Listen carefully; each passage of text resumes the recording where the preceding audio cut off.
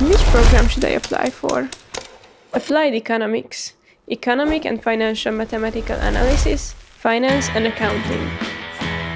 I can help. If you would like to know how economy works and analyze economic data, choose Applied Economics.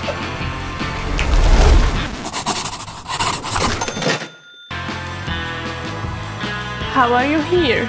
I'm just part of your imagination. I came here to help. Passionate about math? Choose Economic and Financial Mathematical Analysis. It's a five-year integrated program equivalent to a master's degree. Sounds great.